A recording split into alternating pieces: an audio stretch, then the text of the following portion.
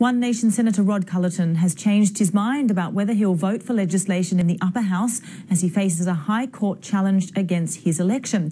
It follows a similar court challenge against former Senator Bob Day. The federal government has downplayed the instability it has created, but Labor says it's another sign of parliamentary chaos. With more, I'm joined by political reporter Francis Keany from Parliament House in Canberra. Francis, good afternoon. What's the latest that Senator Culleton has had to say today?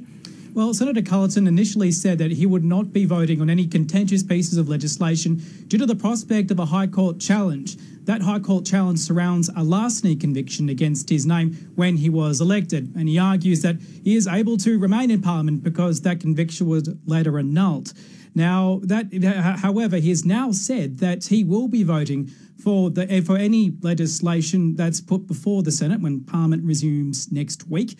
Now, the government will be breathing a, a sigh of relief over that, but the opposition leader Bill Shorten says is another sign of chaos and follows on from the surprise resignation of former Family First Senator Bob Day. Let's have a look at what Mr. Shorten had to say. How on earth does it get to a set of circumstances where um, someone's not even eligible, uh, potentially not even eligible to run for the Senate? And clearly, it, it's the case that someone in the government was aware of the problems well before the last election, and now we're in a state of chaos. We don't know who can vote. We don't know uh, who's eligible to vote. really?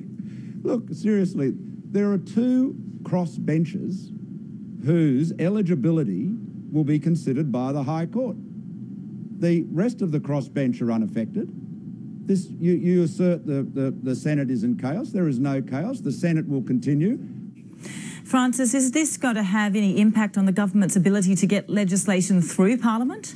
Well, it potentially might. We heard the Prime Minister laughing it off there. Uh, but he needs eight of the 10 crossbenchers to get anything through Parliament now that Bob Day has, has resigned and, and his position, uh, that seat of his the future of that is unclear, but there's the Australian Building Construction and Commission and the Registered Organisations bills, as well as the same sex marriage plebiscite. Now, while the plebiscite is due to be debated in Parliament next week, the federal government has decided against introducing those two industrial relations bills through Parliament next week. So it's, it's decided they're not completely certain that they're able to get those two bills which triggered the double dissolution election earlier this year through Parliament. Francis Keany, thanks so much. Thank you.